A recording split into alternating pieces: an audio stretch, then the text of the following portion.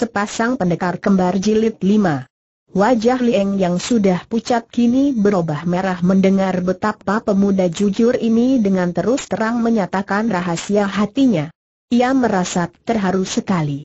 Tapi, ia teringat akan Owi Yang Bun, kesedihan besar membuat ia tak kuat menahan air matanya mengalir karena pemuda idaman hatinya itu telah pergi.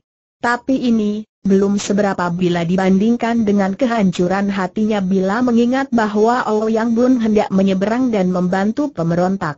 Inilah yang meremukan hatinya benar. Ia menutup mukanya dan menangis terisak-isak. Ouyang Bu menyangka bahwa gadis itu menangis karena terharu dan menyangka pula bahwa Liang diam-diam membalas perasaan hatinya, maka ia lalu memegang tangan gadis itu dan berkata dengan suara mesra, Sumoy, jangan bersedih. Bunko tersesat, biarlah karena aku yakin ia akan kembali ke jalan benar. Aku tahu bahwa sebenarnya Bunko adalah seorang perwira yang berhati mulia. Memang harus disesalkan bahwa ia meninggalkan kita, tapi bukankah masih ada aku di sampingmu? Percayalah, Sumoy, selama aku masih ada di dunia ini aku pasti akan membelamu sampai napasku terakhir. Aku akan membantu perjuangan ayahmu dengan setia, kemudian, dengan kata-kata keras mereka menegur dan menasihati Lai Wang Wei supaya tidak berlaku sewenang-wenang mengandalkan kekayaannya dan memeras rakyat kampung yang miskin. Setelah itu, keduanya melanjutkan perjalanan, kini langsung menuju ke kota raja. Ouyang Bun meninggalkan adik dan semuanya dengan perasaan campur aduk. Sebenarnya pada dasar hatinya ia merasa bahagia dan girang sekali karena tindakannya itu membuat ia merasa seakan-akan seekor burung yang terlepas dari kurungan, seakan-akan kini ia terbang ke angkasa dengan bebas lepas dan dengan tujuan yang lebih luas. Ia merasa seakan-akan terlepas dari sebuah tugas yang sangat menyiksa hatinya, tugas pekerjaan yang dipaksakan padanya dan yang berlawanan dengan kehendak hatinya. Ia kini boleh pergi ke mana saja yang ia sukai, boleh berbuat menurutkan suara hatin. Tapi bila ia teringat akan adiknya, ia merasa sedih sekali. Ia tahu bahwa Ouyang Bu beradat keras dan tidak mudah dirubah pikirannya. Juga ia maklum betapa adiknya itu sangat mencintai Lieng hingga andai kata adiknya akan sadar juga bahwa pihak pemberontak tak seharusnya dimusuhi, masih akan sukar juga bagi Ouyang Bu untuk meninggalkan Lieng, apalagi untuk menjadi lawan atau musuh gadis itu. Dalam perjalanannya seorang diri kali ini, Ouyang Bun mencurahkan perhatiannya kepada keadaan orang-orang kampung umumnya.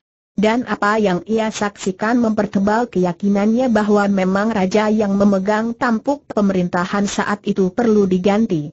Hampir di tiap kota atau kampung, Tak pernah ia melihat seorang pembesar yang benar-benar patut disebut pemimpin rakyat. Para pembesar itu menjalankan pemerasan, penggelapan, kecurangan-kecurangan yang kesemuanya dibebankan kepada rakyat jelata. Hanya orang-orang kaya saja yang hidup senang bahkan berlebih-lebihan, karena dengan mengandalkan pengaruh uang sogokan kepada para pejabat pemerintah, mereka ini hidup terlindung. Jelas tampak di mana-mana bahwa pada hakikatnya yang berkuasa adalah harta kekayaan. Seorang yang ada uang tak usah takut sesuatu. Ingin mengawini belasan atau puluhan gadis cantik? Ingin menang dalam perkara biarpun berada di pihak salah? Ingin naik pangkat secara mudah? Ingin menjadi raja kecil yang mempunyai kekuasaan sendiri, mempunyai posisi sendiri? Mudah, asal orang mempunyai banyak emas dan perak. Melihat keadaan ini semua, diam Damo yang Bun merasa heran sekali mengapa suhunya dapat berdiri di pihak raja dan tidak suka kepada perjuangan para patriot bangsa yang dicap pemberontak itu. Ia kini dapat menangkap arti dari kata-kata Chiu Pek In, orang tua perwira yang aneh itu. Baru terbuka matanya dan diam-diam ia mengagumi orang tua yang dianggap seorang Lo Po yang berpemandangan luas sekali. Ia merasa kagum betapa dalam keadaan bertentangan dan bermusuhan, Ciu Pek In masih memuji-muji sikap Chin Chun Ong. Ternyata bahwa orang tua si Ciu, guru dari Nona Cui Sian yang cantik dan perwira itu, telah dapat menundukkan perasaan perseorangan hingga pertimbangannya adil dan tepat, sama sekali bebas dari rasa sentimen. Rasa kagumnya membuat ia ingin sekali dapat bertemu lagi dengan orang tua itu. Dan diam-diam ia pun merasa rindu kepada Cui Sian, gadis yang tampaknya pendiam tapi yang kalau sudah berkata-kata ternyata menyatakan pikirannya yang luas dan cerdik. Beberapa hari kemudian, ia tiba di sebuah kota, yakni kota Lisar yang cukup ramai. Toko-toko dan rumah-rumah makan berderet-deret di sepanjang jalan hingga menambah kemegahan kota itu. Ia memilih sebuah kamar di penginapan yang berada di jalan sebelah barat. Sebetulnya hari masih belum gelap benar dan ia pun belum lelah, tapi melihat bahwa udara gelap dan agaknya akan turun hujan, ia tunda perjalanannya dan bermaksud menginap semalam di kota ini. Ketika membuka bungkusan pakaian, baru ia ingat bahwa bekal uangnya telah habis sama sekali. Yang Bun lalu mengambil keputusan untuk meniru pekerjaan suhunya ketika masih muda dulu, yakni menjadi maling. Gurunya, si iblis tua tangan delapan, pernah berkata bahwa mengambil sedikit harta seorang kaya untuk sekedar bekal perjalanan, bukanlah hal yang patut dibuat malu bagi seorang Kang Ou, asal saja uang yang diambil itu bukan digunakan untuk hidup royal dan bersenang-senang. Apalagi kalau telah diketahui bahwa hartawan yang dimalingi itu adalah seorang yang bertabiat kikir dan yang menjadi kaya karena menghisap tenaga rakyat kecil. Dengan hati tetap, Ketika malam telah gelap benar, Yang Bun keluar dari kamarnya melalui jendela dan langsung naik ke atas genteng. Keadaan benar-benar gelap karena udara diliputi mendung hitam hingga langit tak berbintang sama sekali. Biarpun matanya telah terlatih untuk dapat menangkap bayang-bayang benda di tempat gelap, namun untuk berloncat-loncatan di atas genteng pada saat segelap itu, bukanlah pekerjaan yang mudah. Oleh karena itu, ia sangat berhati-hati dan tidak berani lari terlalu kencang. Ketika ia telah berada jauh dari penginapannya, tiba-tiba ia melihat lima bayangan hitam bergerak turun dari atas wuwungan rumah. Ia cepat meloncat ke arah tempat itu dan memandang ke bawah.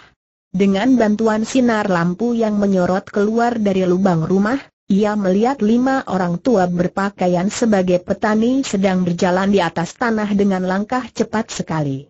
Ia lalu meloncat turun mengejar pula, karena ia merasa curiga dan tertarik sekali. Hatinya hendak melihat siapakah mereka itu dan apa yang hendak mereka lakukan pada waktu segelap ini.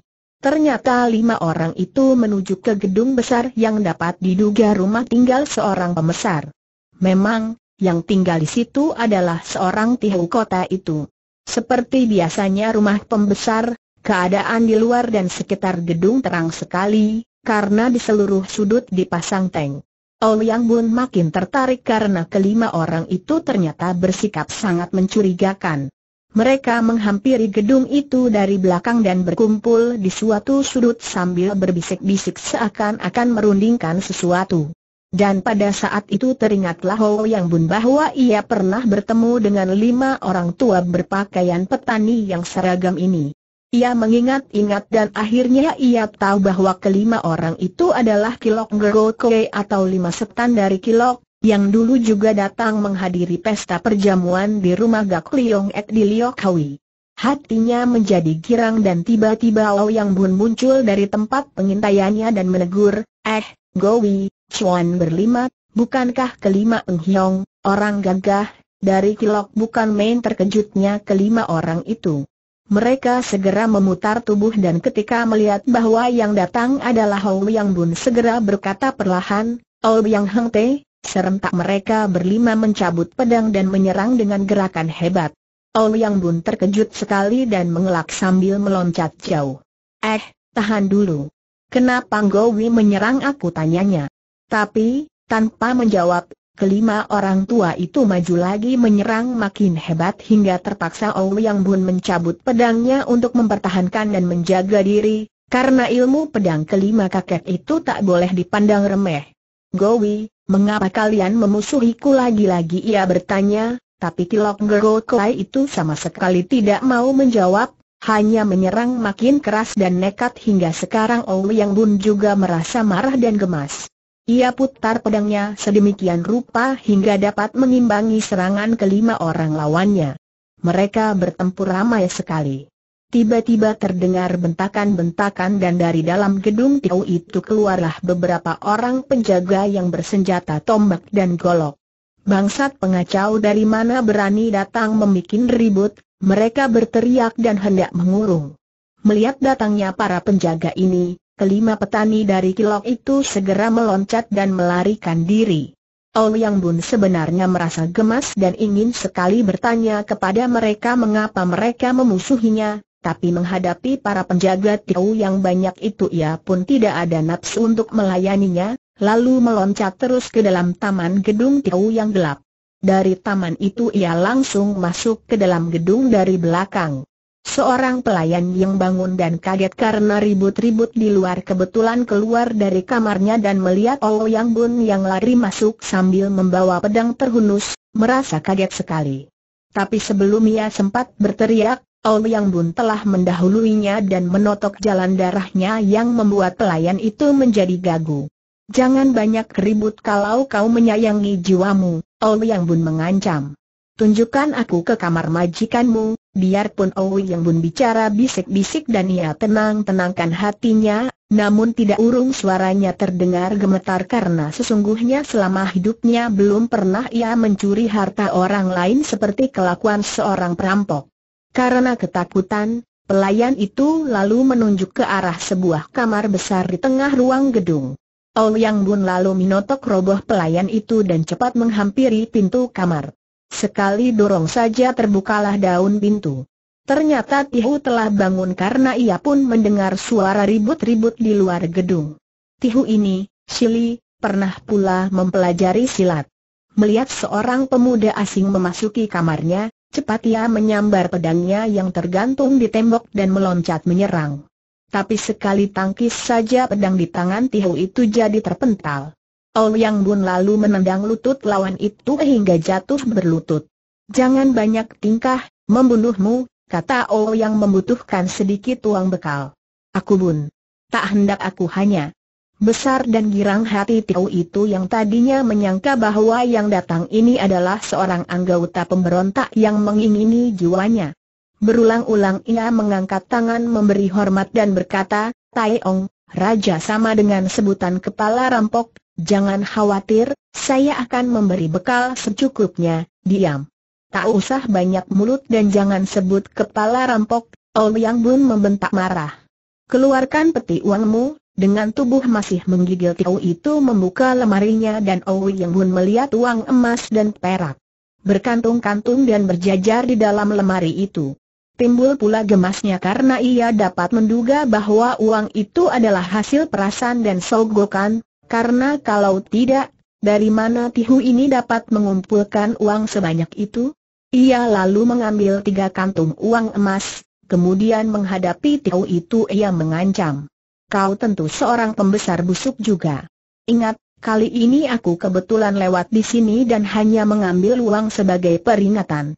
Lain kali kalau aku masih mendengar bahwa kau adalah seorang pembesar yang menindas rakyat, jangan kaget kalau aku bukan mengambil uang, tapi mengambil kepalamu. Mengerti pedang di tangan kanannya bergerak cepat dan Tihu itu hilang semangatnya karena melihat sinar pedang menyambar kepalanya. Ia segera berlutut dengan kaki lemas dan mulutnya tiada hentinya meminta ampun. Tapi ketika ia mengangkat muka, ternyata pemuda itu telah lenyap dari situ dan ia melihat rambutnya yang dikucir panjang dan tebal telah menggeletak di dekatnya, kena sabetan pedang tadi. Ia kaget sekali dan dengan tubuh gemetar dan panas dingin ia memekik memanggil penjaga. Ketika beberapa orang penjaga menyerbu masuk, Tihu itu jatuh pingsan karena takutnya. Para penjaga, segera menolongnya dan mengangkatnya ke pembaringan. Malam itu Ouyang Bun mengelilingi kota itu dari atas genteng dan menjelang fajar baru ia kembali ke kamar hotelnya lewat jendela. Dan pada keesokan harinya, pagi-pagi sekali, banyak orang-orang miskin yang berumah gubuk, tiba-tiba menemukan segumpal lemas di dalam rumahnya, hingga mereka merasa sangat kaget dan senang, lalu diam-diam memasang hio untuk menyatakan terima kasihnya kepada penolong yang tak dikenal itu. Ternyata ketika mengelilingi kota, Ouyang Bun diam-diam membagi-bagi emas kepada penduduk miskin hingga habis dua kantung lebih. Sisanya ia simpan untuk bekal sendiri. Pada keesokan harinya, setelah matahari naik tinggi, barulah Ouyang Bun bangun dari tidur. Ia segera membersihkan tubuh dan setelah makan pagi, meninggalkan hotel untuk melanjutkan perjalanannya. Karena ketika meninggalkan adik dan semuanya ia juga meninggalkan kudanya, maka sebelum meninggalkan kota itu ia membeli seekor kuda yang cukup baik. Tukang kuda adalah seorang sitan yang doyan sekali mengobrol. Ia sedang gembira karena dari penjualan kuda kepada Yang Bun, ia memperoleh keuntungan yang lumayan besarnya dan melihat bahwa pemuda itu adalah seorang asing ia lalu berkata, Kong Chu tentu seorang yang pandai ilmu silat, katanya sambil tersenyum memuji. Oh Yang Bun kaget. Ia memandang tajam ketika bertanya, bagaimana sebabnya maka kau menduga demikian pedagang kuda itu tertawa. Mudah saja, Kong Chu. Kau seorang diri berani melakukan perjalanan jauh, membawa-bawa banyak emas dan juga menyandang pedang.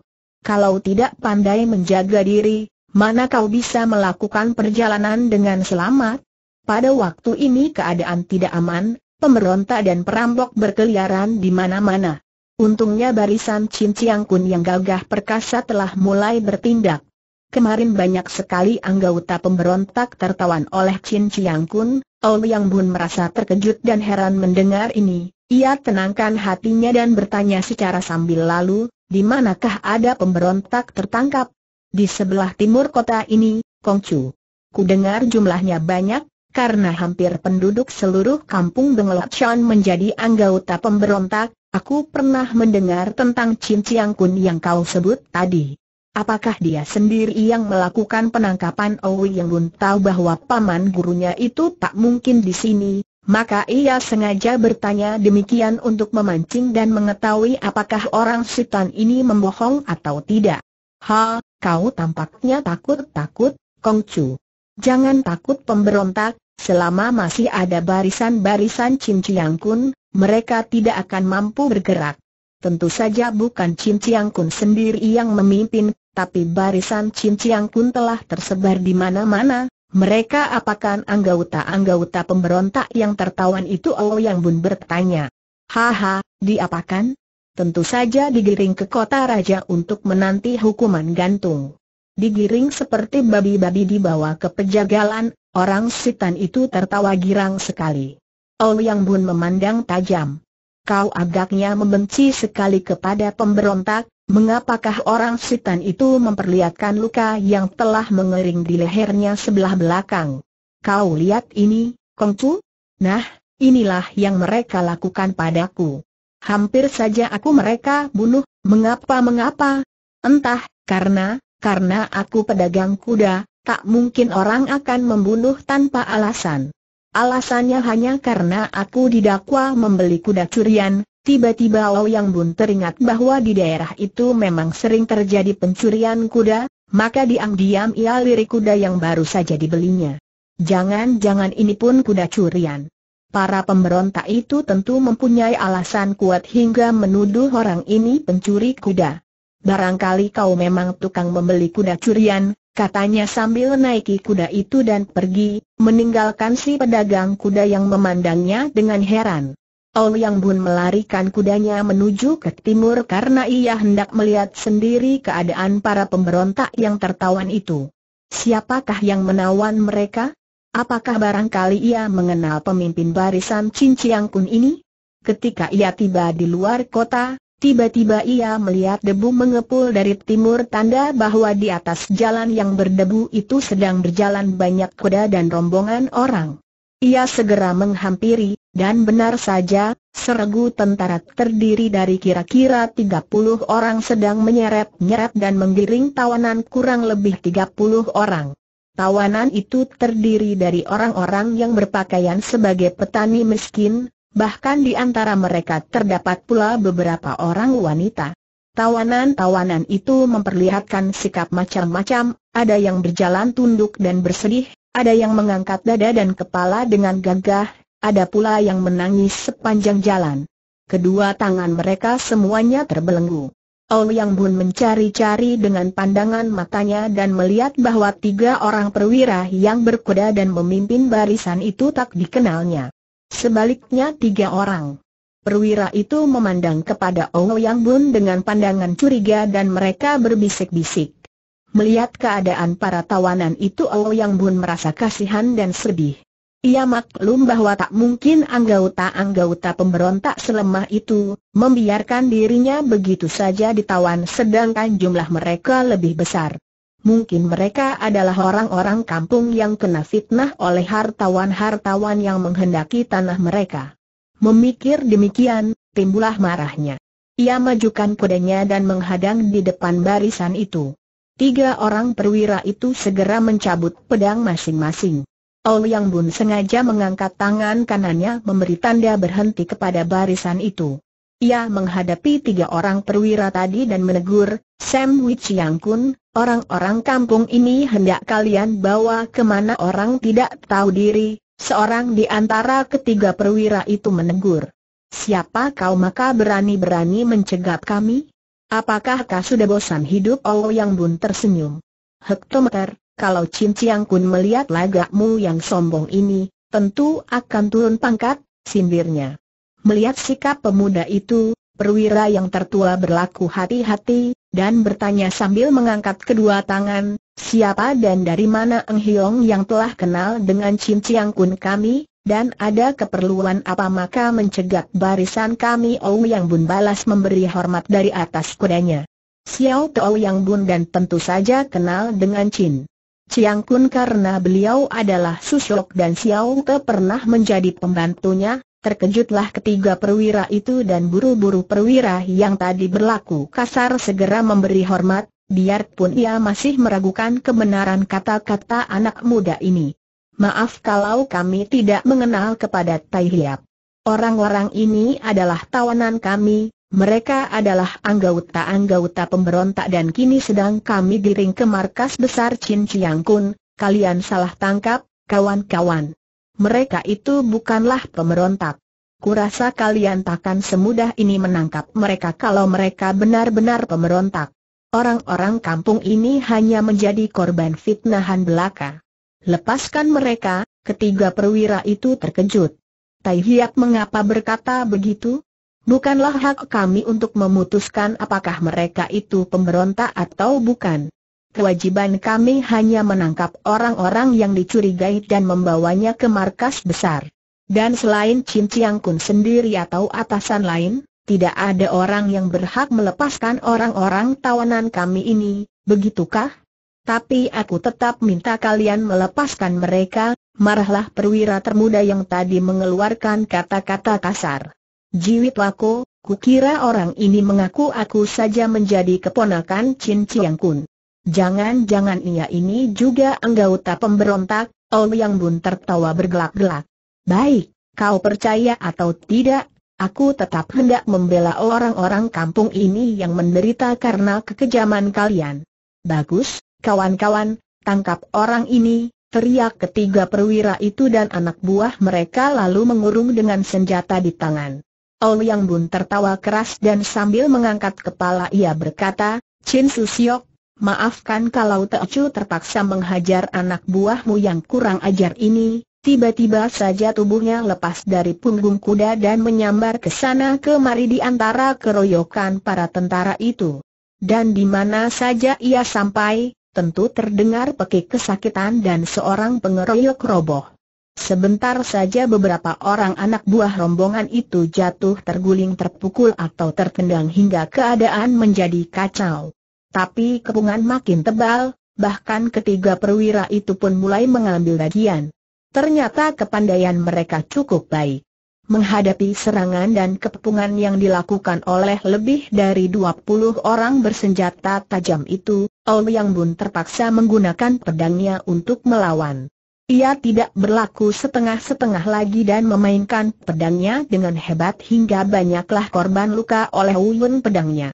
Tiba-tiba dari jurusan timur datang barisan yang lebih besar lagi, dan barisan ini dipimpin oleh dua orang perwira yang telah lanjut usianya. Barisan ini adalah barisan pengawal istimewa dari kota raja dan dipimpin oleh dua orang perwira yang berkepandaian tinggi karena ini adalah anggota pengawal sayap Garuda, terlihat dari topi mereka yang berbentuk sayap burung Garuda. Melihat kedatangan barisan baru itu, terkejutlah Ouyang Bun, karena hanya seorang diri saja tak mungkin ia melawan orang sebanyak itu. Ia lalu memutar pedangnya lebih cepat dan melukai beberapa orang lagi, lalu ia cepat meloncat keluar dari kalangan pertempuran.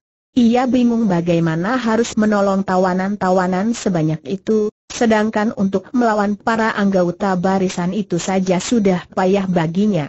Tiba-tiba dari barisan yang baru datang itu berkilat bayangan hijau dan seorang perwira sayap Garuda melintangkan golok besarnya dan membentak, Pemberontak hina, hendak lari ke manakah suara orang itu parau dan biarpun tubuhnya tinggi besar, tapi gerakannya ketika meloncat menghadang Ouyang Bun tadi sangat gesit hingga Ouyang Bun maklum bahwa ia berhadapan dengan seorang lawan yang berisi.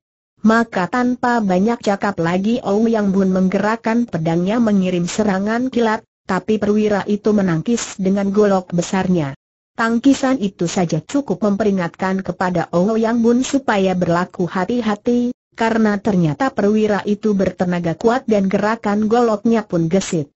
Mereka berdua bertempur dengan seru, dan tak lama kemudian kembali Oh Yang Bun kena terkurung, kini lebih rapat dan hebat daripada tadi karena gerakan golok perwira itu betul-betul hebat. Diam-diam Oh Yang Bun mengeluh karena kini keadaannya berbahaya sekali. Jangan kata hendak menolong puluhan tawanan itu, sedangkan untuk menolong diri sendiri pun ia harus mengeluarkan seluruh tenaga dan kepandaiannya, dan ini pun masih belum tentu berhasil. Ia lalu berseru nyaring dan mengeluarkan ilmu pedang Sin Eng Kiam Hoat, ilmu pedang Garuda Sakti, yang dilakukan dengan cepat dan hebat sekali. Melihat permainan pedang ini, terkejutlah perwira ini, yang meloncat mundur sambil berseru, tahan. Dari mana kau peroleh Sin Eng Kiam Hoat ini? Apa hubunganmu dengan Chin Chiang Kun? Yang Bun memandang tajam dan ia tertawa menyindir ketika menjawab, Chin Chiang Kun adalah susuku. Kau mau apa perwira itu makin terkejut. Kalau begitu, mengapa kau memusuhi kami? Kenapa kau bertempur dengan anak buah Chin Chiang Kun sendiri tanyanya heran. Kami berselisih paham, jawab Yang Bun dengan suara dingin, kalau kalian bertempur melawan pemberontak, itu bukan urusanku, tapi kalau kalian menangkapi orang-orang kampung yang tidak berdaya, aku tak dapat membiarkannya. Habis, apa kehendakmu perwira sayap Garuda itu bertanya. Lepaskan mereka ini, aha, tak mungkin. Sungguh-sungguh aneh permintaanmu ini, apalagi kalau diingat bahwa kau adalah murid keponakan Cin Chiang Kun sendiri. Seharusnya kau tahu akan peraturan ini, betapapun juga, kalian harus melepaskan orang-orang kampung yang tidak berdosa dan tidak berdaya itu, Yang Bun berkata sengit dan menggerak-gerakan pedangnya dengan sikap menantang. Kalau begitu, kau termasuk pengkhianat yang harus dibinasakan, perwira itu berseru marah dan kembali mereka bertarung sengit, dan kali ini perwira yang seorang lagi dan yang bersenjata sebatang tombak ikut menyerbu. Maka repot juga Oh Yang Bun menahan serangan mereka yang ternyata berkepandaian tinggi hingga ia terpaksa harus mengeluarkan seluruh kepandaiannya untuk menjaga diri. Dalam saat ia berada dalam keadaan terdesak itu, tiba-tiba para pengepungnya menjadi panik dan kepungannya mengendur. Ketika Oh Yang Bun meloncat keluar dari kepungan yang sudah menipis itu, ia melihat keadaan yang mendebarkan jantungnya. Ia melihat Kilok Ngerokoe atau lima setan dari Kilok yang malam tadi bertempur dengannya, telah datang menyerang pihak tentara dengan pedang mereka, sedangkan selain kelima setan dari Kilok ini, tampak juga Cui Sian, nona yang dirindukannya itu, juga Xiao Leng gadis lincah yang pernah menguji kepandaian dengan Owi Yang Bu dulu, serta tidak ketinggalan Lui Kok Pau, penyelidik kaum pemberontak yang telah dikenalnya dulu. Dan kini terjadilah pertempuran hebat antara kurang lebih 14 orang pemberontak yang berkepandaian tinggi dengan puluhan tentara negeri yang mengeroyok mereka. Yang Bun berada dalam keadaan serba salah apakah ia harus membantu tentara? Ah, hal itu tak mungkin ia lakukan, karena berlawanan dengan keyakinannya. Pula, pemberontak-pemberontak itu menyerbu tentu untuk menolong orang-orang kampung yang menjadi tawanan itu, jadi berarti cocok dengan maksud hatinya sendiri. Kalau begitu, apakah ia harus membantu pihak pemberontak? Ini juga tak mungkin ia lakukan, karena ia masih merasa ragu-ragu dan malu untuk mengkhianati paman gurunya sendiri. Karena merasa bingung, Ouyang Bun lalu teringat akan para tawanan itu. Ah, kewajibannya hanyalah membebaskan para tawanan itu. Cepat ia lari ke tempat di mana para tawanan itu berada. Tapi ia dicegat oleh lima orang anggota tentara yang menjaga para tawanan itu. Terpaksa Yang Bun lalu menggunakan pedangnya untuk memutuskan semua tali belenggu yang mengikat tangan para tawanan itu. Dan aneh, begitu terlepas dari belenggu, sebagian besar para tawanan laki-laki, yakni yang tadi mengangkat tegak kepala mereka, lalu ikut menyerbu dan melawan tentara setelah memungut senjata-senjata para korban yang terlempar ke atas tanah. Mereka ikut mengamuk seakan-akan hendak membalas sakit hati kepada para anggota tentara yang tadi telah menghina dan menyakiti mereka. Setelah melepaskan belenggu semua tawanan, Ouyang Bun lalu berdiri menganggur dan hanya menjaga para bekas tawanan yang tidak ikut bertempur. Ternyata amukan para pemberontak dan para bekas tawanan itu membuat anggota-anggota tentara itu kewalahan dan tak lama kemudian mereka terdesak mundur. Terutama pedang di tangan Cui Xian yang sangat hebat itu membuat kedua perwira sayap Garuda merasa bahwa pihak mereka takkan menang, maka segera mereka memberi isyarat mundur.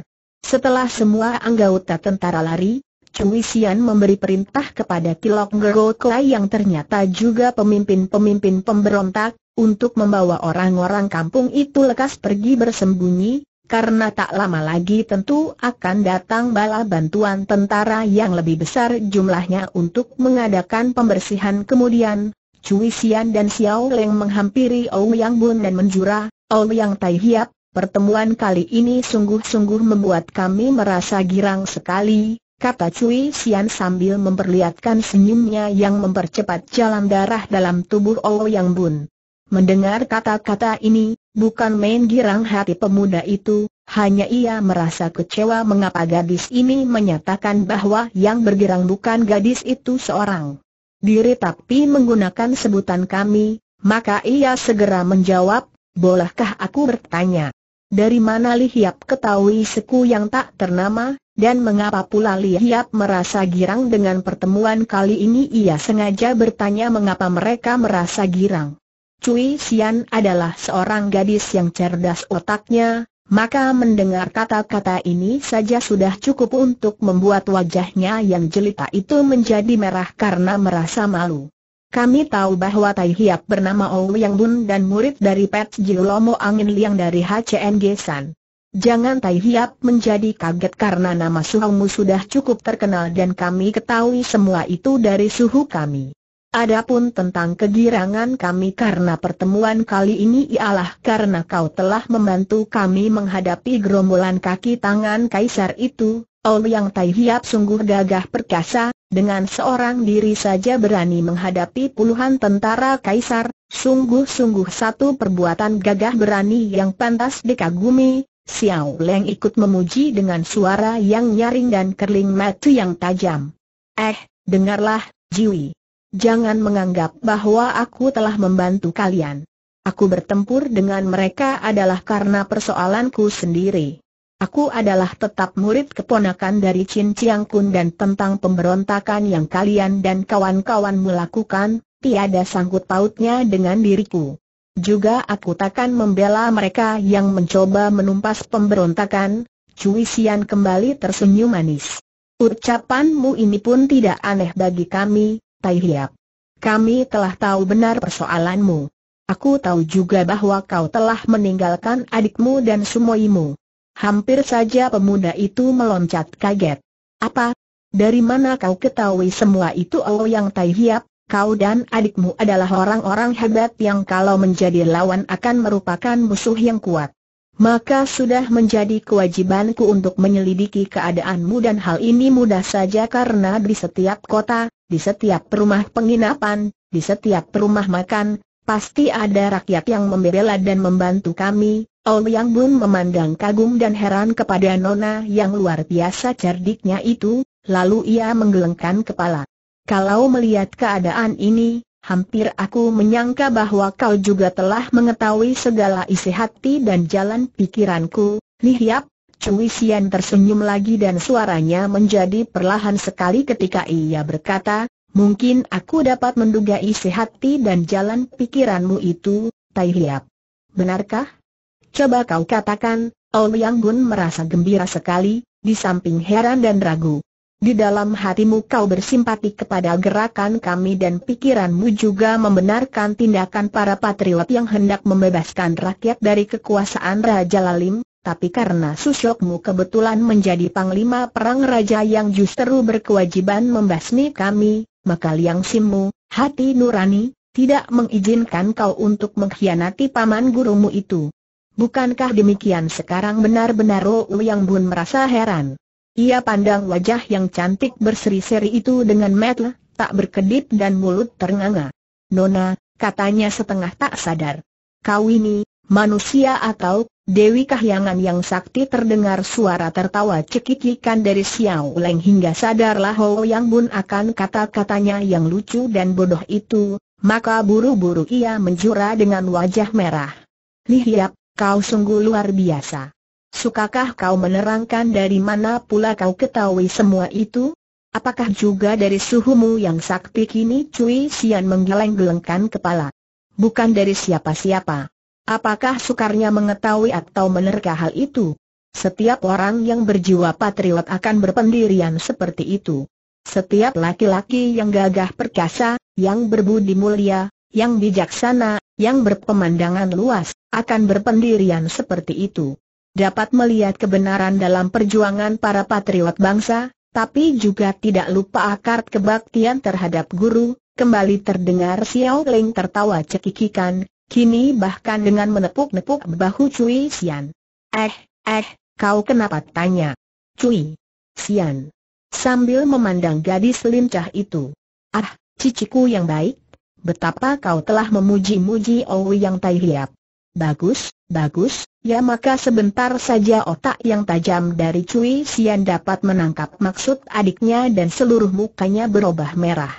Benar saja, tanpa disadarinya ia telah mengatakan bahwa pemuda itu adalah seorang laki-laki yang gagah perkasa, berbudi mulia, bijaksana dan berpemandangan luas.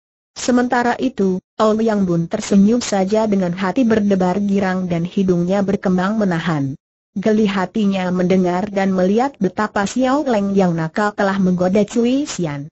Cui Xian merasa malu sekali dan untuk menghilangkan rasa malunya ia cubit lengan adiknya, yang segera lari sambil tertawa. Yang Bun dan Cui Xian yang ditinggal berdua saja hanya berdiri saling berhadapan tanpa mengeluarkan ucapan apa-apa, bahkan mereka tak berani saling memandang, hanya tunduk dan hanya kadang-kadang mencuri pandangan dengan kering tajam. Akhirnya Yang Bun memecahkan kesunyian dan kebingungan mereka dengan berkata, Lihiap, kau telah mengetahui si dan namaku, tapi bolehkah aku ketahui simu dan apa pula hubungan Nona Xiao Leng dengan kau Cui Sian mengangkat muka dan memandang wajah Yang Bun dengan tenang ketika ia menjawab, Aku Shikan bernama Cui Xian, dan Xiao Leng adalah adikku sendiri bernama Kan Xiao Leng. Tiba-tiba Yang Bun menjadi pucat dan ia merasa kepalanya pening ketika teringat akan sesuatu. Hampir saja ia tak dapat mengendalikan diri lagi dan hendak memegang lengan gadis itu yang segera mundur. Kau, kau dan adikmu, dari manakah asalmu Cui Xian tidak tampak heran melihat sikap Yang Bun yang aneh ini, Bahkan dengan tenang sekali ia berkata, aku sudah tahu apakah yang timbul dalam dugaanmu, Tai Hiap. Memang dugaanmu itu benar. Ayahku adalah Ken Lin Cho yang tinggal di Tunghan. Kau, kau, Ouyang Bun tak dapat melanjutkan kata-katanya hanya menggunakan jari telunjuknya untuk menuding dada gadis itu lalu menuding dadanya sendiri. Cui Sian mengangguk-angguk. Ya, memang ibumu dan ibuku telah menjodohkan kita, gadis itu lalu menundukkan muka dengan malu. Ouyang Bun teringat akan adiknya dan ia meloncat-loncat ke atas bagaikan menginjak pasir panas. Kalau begitu, adikmu itu, Nona Xiao Leng dan Bute, ya, memang menurut orang tua kita, adikmu itu pun telah dijodohkan dengan Xiao Leng. Tiba-tiba Yang Bun tertawa gelak-gelak sambil mengangkat kepalanya ke atas. Ia merasa geli sekali ketika teringat betapa Yang Bu telah mengadu kepandaian melawan tunangannya sendiri. Alangkah cocoknya jodoh itu adiknya yang kasar dan jujur dan Xiao Leng yang lincah dan jenaka. Tapi, tiba-tiba ia teringat akan keadaan Owi Yang Wu dan tiba-tiba saja suara ketawanya berubah menjadi isak dan pemuda gagah itu lalu menjatuhkan diri di atas rumput lalu menangis. Cui Xian yang belum mengetahui duduknya persoalan, menjadi heran sekali dan salah sangka. Terdengar kata-katanya yang diucapkan dengan tenang tapi tetap, Yang Tai Hiap, Tak perlu, hal ini dibingungkan dan disusahkan. Kita adalah orang-orang yang mengutamakan kejujuran dan tidak terikat oleh segala yang tak kita setujui. Kalau kita tak menyetujui tindakan orang tua kita, mudah saja. Batalkan dan habis perkara, tak perlu dibingungkan. Mendengar ini, Sekali itu juga hati Ouyang Bun memberontak dan ingin sekali ia meloncat dan memegang tangan gadis itu dan mengakui bahwa ia setuju sekali dengan ikatan jodoh itu, tapi karena ia sedang merasa hancur hatinya teringat kepada adiknya yang mengambil jalan lain, ia tak kuasa menjawab kata-kata Cui Sian, hanya berkata lirih berkali-kali, Bute. Bute, ketika Ouyang Bun mengangkat mukanya, ternyata Cui Sian telah lenyap dari situ. Ia cepat berdiri memandang ke sekitarnya, tapi keadaan di situ sunyi senyap. Sementara itu, Hari telah berubah senja dan keadaan telah mulai gelap. Tiba-tiba dari timur tampak beberapa orang berlari cepat sekali ke arahnya dan empat orang telah berada di hadapannya. Mereka ini adalah perwira-perwira sayap Garuda dan tanpa banyak cakap lagi mereka menyerang Ouyang Bun yang masih merasa setengah sadar karena pukulan kesedihan tadi, cepat menggunakan pedangnya melakukan perlawanan. Ternyata empat orang pahlawan keraton ini sangat hebat dan segera ia terkurung rapat. Sementara itu, musuh datang lebih banyak. Yang Bun maklum bahwa ia takkan tertolong lagi, karena terlalu banyak musuh pandai mengurung dan menyerangnya, bahkan di antara mereka ini tampakin Keng Tojin, tokoh Godisan yang bertubuh bongkok dan rambutnya yang panjang diikal ke atas. Inilah Tosu yang pernah ia jumpai di medan pesta Gak Liong Ek dulu, dan ternyata pendeta ini pun telah menjadi kaki tangan kaisar pula. Karena terkurung rapat-rapat sedangkan ia hanya seorang diri, Yang Bun menjadi nekat. Ia mainkan pedangnya sedemikian rupa dan ia kerahkan seluruh tenaga dan kepandaian hingga sampai 200 jurus ia masih tetap dapat mempertahankan diri, biarpun tubuhnya lah merasa lemas dan lelah sekali. Ia telah menerima hantaman tiga kali, yakni sekali bacokan golok yang meleset dan melukai kulit pundaknya, sedangkan dua kali lagi pukulan toya di lengan kiri dan pinggang. Tapi berkat semangatnya yang menyala-nyala dan kenekatannya yang luar biasa, ia belum juga dapat dirobohkan. Akhirnya kedua matanya menjadi gelap, pandangan matanya kabur dan kepalanya pening, Sepasang lengannya terasa lemah tak bertenaga dan kedua kakinya terhuyung-huyung ke belakang. Ia hanya mendengar suara ketawa dan bentakan-bentakan lawannya di sekelilingnya yang tiba-tiba terhenti dan akhirnya semuanya tampak hitam karena ia telah pingsan. Ketika sadar kembali, Yang Bun mendapatkan dirinya terbaring di atas sebuah dipan bambu yang bertelamkan kain putih bersih dan pinggirnya berendah. Bantal yang mengganjal kepalanya terbungkus sutera merah bersulam kembang-kembang mawar indah sekali. Bantal itu mengeluarkan bau harum dan sedap menyegarkan. Yang Bun merasa seakan-akan dalam mimpi. Tanpa menggerakkan kepala, kedua matanya bergerak ke sekelilingnya. Ternyata ia berada di dalam sebuah kamar segi empat yang terbuat dari bilik bambu sederhana. Di sebelah kirinya terdapat lubang jendela yang tak berapa besar dan dari jendela itu masuklah angin berhembus perlahan menggerak-gerakan sutra hijau yang tergantung di belakang jendela. Dari atas sutra hijau itu, ia hanya dapat melihat langit yang biru muda terhias awan-awan putih berkelompok-kelompok. Tiba-tiba teringatlah ia akan pertempuran hebat dan teringatlah ia betapa ia terluka karena dikeroyok oleh jagoan-jagoan keraton. Maka ia segera menggerakkan kedua lengannya. Lengan kanannya dapat digerakkan seperti biasa, tapi lengan kirinya terasa sakit sekali ketika ia gerakan, terutama di bagian pundak. Ketika ia raba pundaknya, ternyata bahwa bagian tubuh itu telah dibalut. Di manakah dia? Demikianlah otaknya mulai berpikir dan ia bangkit dengan perlahan lalu duduk di atas dipan itu. Pada saat itu, daun pintu di sebelah kanannya terbuka perlahan dan seorang gadis masuk dengan langkah kaki perlahan dan halus. Gadis itu membawa sebuah nampan berisi cawan kosong dan poci air teh, dan sebuah mangkuk berisi obat. Ketika pandang mati mereka bertemu, hampir saja Yang Bun berseru karena herannya. Ia merasa seakan-akan berhadapan dengan seorang bidadari yang baru saja turun dari kahyangan. Demikian cantik, demikian manis dengan pakaiannya yang sederhana. Senyumnya menghias mulut yang indah bentuknya itu, sepasang matanya berseri-seri dan bercahaya bagaikan bintang pagi, dan begitu lemah gemulai. Yang Bun hampir tak percaya kepada mata sendiri, tapi tak terasa pula bibirnya bergerak memanggil, Cui Sian, Gadis yang sedang berdiri dan memandang padanya itu tiba-tiba menundukkan mukanya yang berubah menjadi kemerah-merahan dan tangan berkulit putih halus itu menggigil hingga cawan kosong di atas nampan berbunyi berkerotokan. Benarkah ini Cui Sian, gadis yang biasanya berpakaian laki-laki, gadis yang gagah perkasa, yang telah mendapat kekuasaan memimpin barisan pemberontak, yang biasa menghadapi musuh banyak dengan tenang dan sepasang pedang di tangan.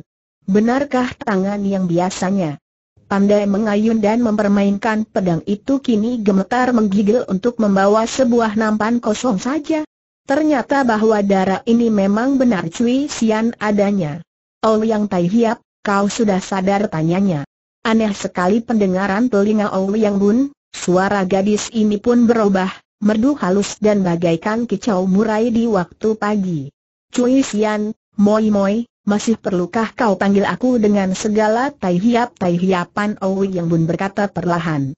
Muka gadis itu makin merah dan ia mengerling kepada pemuda itu dengan sudut matanya. Baiklah, Bunko, jawabnya perlahan hampir tak terdengar, kemudian setelah menghela napas untuk menenteramkan hatinya yang berdebar-debar tadi, ia berkata lagi, kini dengan suara biasa, Bunko, minumlah dulu obat ini, semenjak kecil Yang Bun memang paling benci minum obat-obat yang tak sedap rasanya, apalagi kalau yang pahit.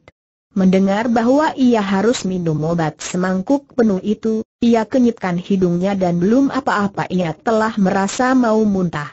Haruskah ku minum obat itu? Moi-moi tanyanya.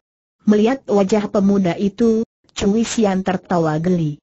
Tentu saja harus kau minum, apa kau kira aku bersusah payah masak obat ini hanya untuk main-main saja? Eh, kau memasak obat untukku, adikku yang baik. Dan kau, kau rawat aku dengan baik pula, ah, sungguh kau baik sekali, moi-moi, hus, sudahlah, minum dulu obat ini dan jangan membantah. Setelah gadis itu meletakkan nampan di atas meja kecil, lalu mengambil mangkuk obat itu dan menghampiri Yang Bun. Dari pakaian gadis itu keluar bau harum yang sama dengan bau harum bantalnya, maka Yang Bun memejamkan mata sebentar dan menarik napas dalam, lalu dengan menurut sekali ia terima mangkuk itu, menutup matanya rapat-rapat lalu sekali tuang habislah obat semangkuk itu. Nah, begitu baru baik, Gadis itu memuji dan cepat mengambil mangkuk kosong itu menuangkan teh di dalam. Cawan kecil yang kemudian disodorkan kepada pemuda itu, dan ini obat penawar pahit, katanya sambil tersenyum dan memandang penuh mesra. Yang Bun juga tak membantah dan meminum habis teh itu. Sekarang, kau ceritakan semuanya kepadaku, Moi Moi, ia lalu menuntut, tapi cepat disambungnya, eh, jangan kau berdiri saja, duduklah, pemuda itu merasa bingung karena ia merasa tidak sepantasnya kalau mereka duduk berdua di atas pembaringan, sedangkan di situ tidak ada bangku atau kursi. Maka ia lalu cepat turun dari pembaringan. Pinggangnya terasa agak sakit, tapi ditahannya, lalu ia berdiri dan berkata lagi, Nah, kau duduklah di situ biar aku berdiri saja, Cui Sian tersenyum geli. Kau berbaring saja, Bunko. Lu kamu belum sembuh benar, tidak boleh turun dari pembaringan. Biar aku duduk di pinggir pembaringan, karena memang pinggangnya terasa sakit dan kepalanya masih pusing, Ouyang Bun lalu merebahkan diri lagi, dan tanpa malu-malu lagi Sui Qian duduk di pinggir pembaringan. Moi moi, bukannya aku tak suka, tapi, tapi kalau terlihat orang lain, bolehkah kau duduk di pinggir pembaringanku sambil berkata demikian pemuda itu menjauhkah diri sedapat mungkin dan mukanya menjadi merah sekali. Cui Xian menggunakan ujung lengan bajunya untuk menutup mulutnya dan menahan geli hatinya. Koko, Sungguh kau, menggemaskan. Tiga hari aku terus-menerus menjagamu di sini dan sekarang kau hendak melarang aku duduk di sini? Apa? Tiga hari kau menjagaku di sini? Seorang diri. Dan di mana kawan-kawan yang lain sabar, Koko? Ketahuilah, ketika kau dengan mati-matian dan gagah berani menghadapi keroyokan beberapa perwira sayap Garuda dan berada dalam keadaan yang berbahaya sekali, kebetulan aku dan kawan-kawan datang. Untung pada waktu itu suhuku juga ada di antara kami hingga beliaulah yang menolongmu dari bahaya maut. Kalau tidak ada suhu, kiraku sukar menolongmu, karena pengeroyok-pengeroyokmu adalah jago-jago keraton yang berkepandaian tinggi, aduh, kalau begitu aku berhutang budi kepada suhumu, STT, siapa bicara perkara budi? Dengarlah baik-baik ceritaku, gadis itu menyela. Setelah kami berhasil memukul mundur mereka semua, kami lalu membawamu ke sini yang terpisah hampir 50 li dari tempat kau bertempur.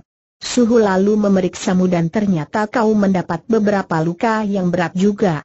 Kata Suhu, kau akan pingsan sampai dua atau tiga hari karena selain mendapat luka dan terlampau lelah, kau juga menderita tekanan hati hebat hingga jantungmu terganggu, Aha, suhumu sungguh pandai luar biasa seperti seorang dewa, kata Ouyang Bun dengan kagum. Suhu lalu memberi obat dan beliau segera pergi karena mempunyai tugas penting di kota raja, sedangkan semua kawan-kawan juga harus segera menggabungkan diri dengan kawan-kawan lain untuk bersiap sedia menanti perintah penyerbuan besar-besaran ke kota raja. Karena kau harus dirawat baik-baik seperti perintah suhu, maka aku lalu memberikan tugasku kepada Xiao Leng dan aku sendiri tinggal merawatmu. Ah, Moi Moi, adikku yang manis, Yang Bun berbisik terharu sambil memegang tangan gadis itu dan tanpa disadarinya ia mencium tangan yang halus dan hangat itu. Untuk beberapa lama Cui Xian membiarkan saja tangannya dipegang tapi kemudian ia menarik tangannya sambil berkata lagi. Koko, menurut kata suhu, setelah empat hari barulah kau boleh melakukan perjalanan. Aku mempunyai tugas penting, yakni memimpin kawan-kawan mencari dan menggabungkan diri dengan induk kesatuan. Maka, terpaksa besok pagi-pagi aku pergi dari sini, Yang Bun terkejut. Pergi ke mana? Moi Moi menyusul kawan-kawan. Ke mana lagi aku juga ikut pergi, katanya dengan suara tetap. Cui Sian mengangkat telunjuknya. Ingat, Koko, Aku menunaikan tugasku untuk menyerbu ke kota raja, aku pun hendak ikut menyerbu dan bertempur di sampingmu, ingat, Koko. Tidak ada yang memaksa kau untuk ikut menggabungkan diri menjadi pemberontak, tidak ada yang memaksa, dan kau bukanlah pemberontak.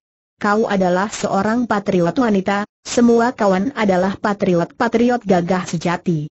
Aku sekarang mengerti dan tahu akan isi perjuanganmu, Moi Moi, tapi, Koko, Janganlah kau berubah pikiran hanya karena ada aku. Ingatlah bahwa kau akan berhadapan dengan susyokmu, bahkan mungkin dengan adikmu sendiri. Mendengar adiknya disebut-sebut, Ouyang Bun menghela napas dan berkata perlahan, sayang, sayang sekali Bute tidak berada di sampingku, memang, aku juga sangat menyayangkan, Koko. Ketahuilah, dari berita para penyelidik kita, aku mendapat kabar bahwa adikmu kini telah diangkat menjadi tangan kanan Chin Chiang Kun, Ouyang Bun makin sedih mendengar ini dan diberi tugas mengepalai barisan yang menjaga benteng KWI Chiok Bun di sebelah selatan kota raja. Kabarnya bentengnya besar dan kuat sekali dan merupakan perintang besar sekali bagi kawan-kawan kita, dan kaserta kawan-kawanmu hendak menyerbu ke sana tanya Oh Yang Bun. Memang tugas kita harus melalui benteng itu, kalau begitu, aku ikut. Biarlah, kalau perlu aku berhadapan dengan adikku sendiri. Mungkin aku dapat menyadarkannya sebelum terlambat. Sehari itu mereka bercakap-cakap dan pada kesempatan ini Ken Cui Sian menceritakan riwayatnya secara singkat. Ternyata bahwa Ken Lim Chong, ayah Cui Sian dan Xiao Leng, setelah harta bendanya habis dan menjadi miskin, pindah ke Tung Hon dan mendiami rumah sederhana. Pada suatu hari, ketika hujan turun dengan lebatnya, di depan rumah keluarga Ken itu tampak meneduh seorang kakek yang memikul keranjang obat. Kakek itu menggunakan ujung lengan bajunya untuk menghapus air hujan yang menimpa kepala dan mukanya, lalu mengucapkan syair dengan suara riang sambil memandang air yang mengucur dari atas. Kata orang purbakala mendung timbul dari samudra mendung jadi hujan dan air mengalir masuk sungai-sungai bergerak maju dan akhirnya masuk ke samudra kembali alangkah adilnya kekuasaan alam segala sesuatu pasti kembali ke asal semula. Kebetulan pada waktu itu Ken Ling Cho sedang duduk di dekat jendela sambil memandang air hujan juga. Ken Ling Cho adalah seorang sastrawan yang tentu saja pandai akan sastra dan syair. Mendengar syair yang diucapkan orang dari luar ini, ia merasa kagum dan tertarik sekali. Segera ia keluar dan dengan ramah tamah mempersilakan kakek tukang obat itu masuk. Kakek itu ternyata adalah Sin Leong Chiu Pek In Sinaga Sakti yang tidak hanya hebat sekali ilmu pedangnya juga seorang ahli ilmu pengobatan yang pintar dan sakti.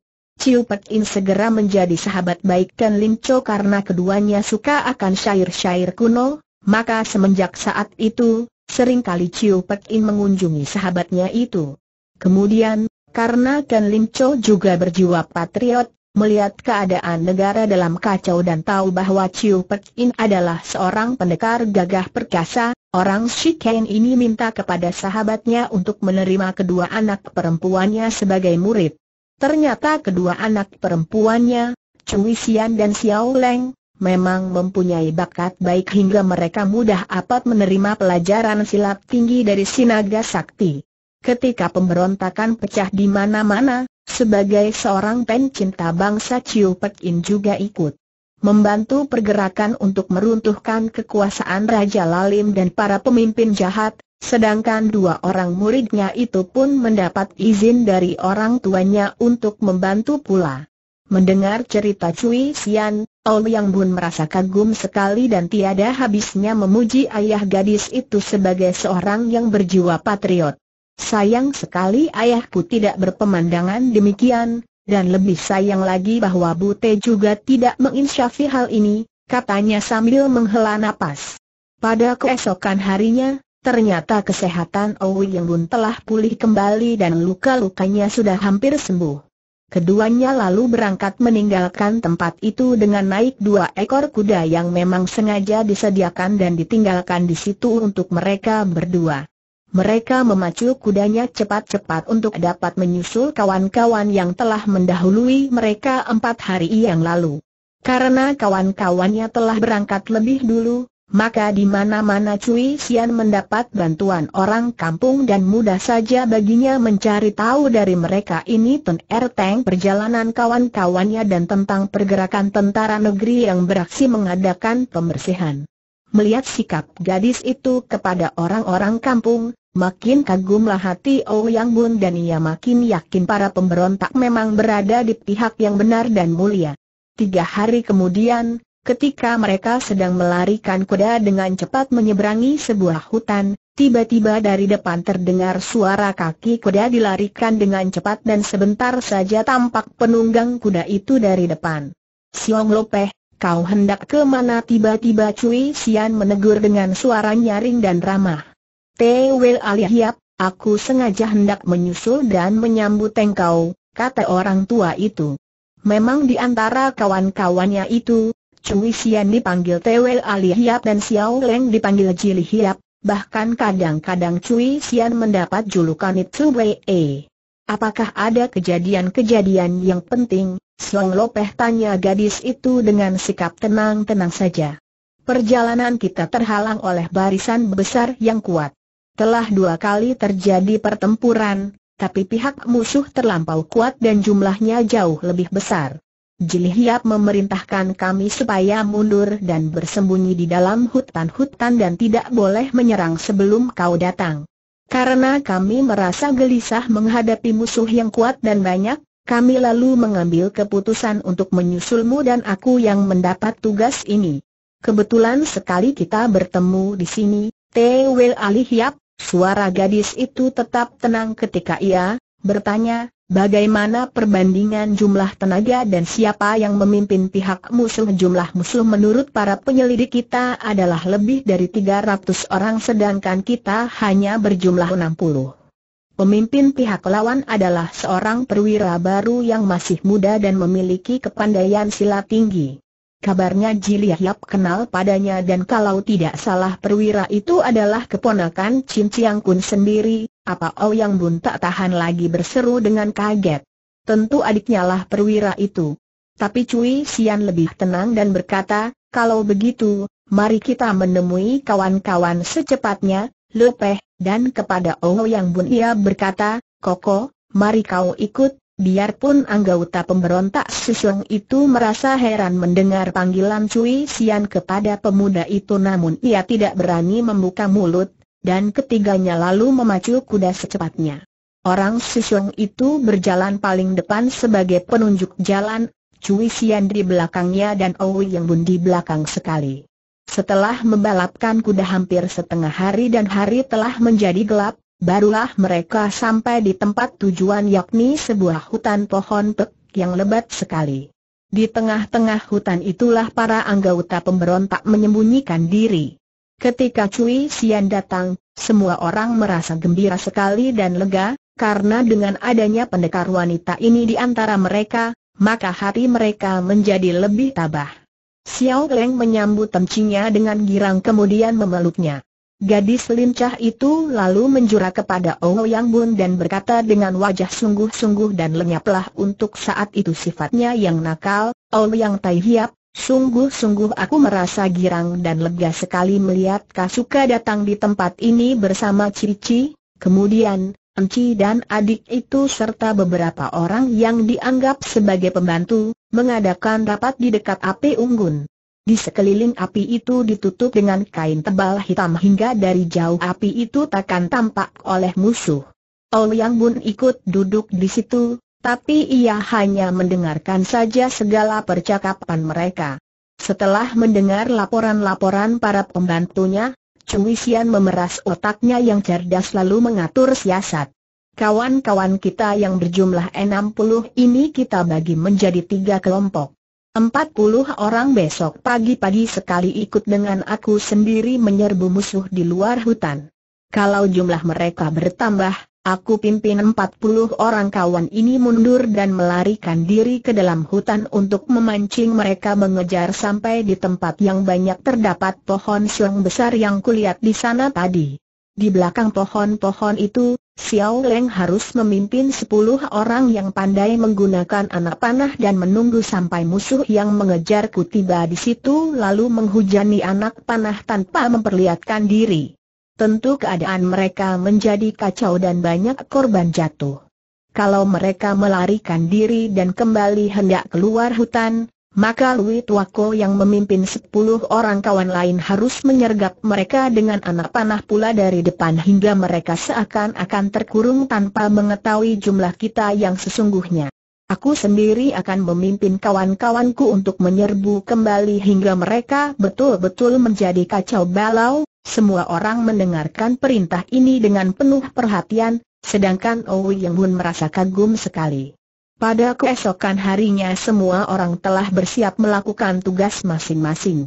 Owi Yang Bun menemui Cui Sian dan bertanya, Moi Moi, aku tentu boleh ikut denganmu, bukan lebih baik jangan, Koko. Siapa tahu, jangan-jangan adikmu sendiri yang akan maju memimpin pengejaran nanti, dan jika ia melihat kau, ia akan menjadi curiga dan siasatku mungkin akan gagal. Biarlah kau mengamat-amati saja dan membantu bila di antara kawan kita ada yang terkurung atau terancam bahaya, tapi kau harus berlaku hati-hati, moi-moi, jangan kau pandang ringan adikku itu dan, dan, sedapat mungkin janganlah kau, celakakan dia. Cui Sian memandang pemuda itu dengan mata sayu. Apa dayaku, Koko? Dalam keadaan seperti ini apakah masih perlu perasaan perseorangan diutamakan Owi Yang Bun menghela napas dan tak menjawab karena ia maklum sepenuhnya akan maksud kata-kata gadis itu. Setelah memberi pesan terakhir kepada kawan-kawannya dan mengatur persiapan-persiapan untuk menjalankan siasat itu, Cui Sian lalu memimpin kawan-kawannya untuk menyerbu perkemahan serdadu negeri yang menjaga di luar hutan dalam tenda-tenda berwarna hijau. Kurang lebih 300 orang serdadu itu memang dipimpin sendiri oleh Ho Yang Bu. Bagaimanakah nasib pemuda gagah ini yang ditinggal pergi oleh kakaknya yang ia kasihi? Setelah Ouyang Bun pergi, Ouyang Bu merasa sangat sedih, akan tetapi karena kasih dan cintanya kepada Liang jauh lebih besar daripada kasih sayangnya kepada kakaknya itu, maka kenyataan bahwa ia dapat selalu berdampingan dengan gadis itu yang banyak menghibur hatinya.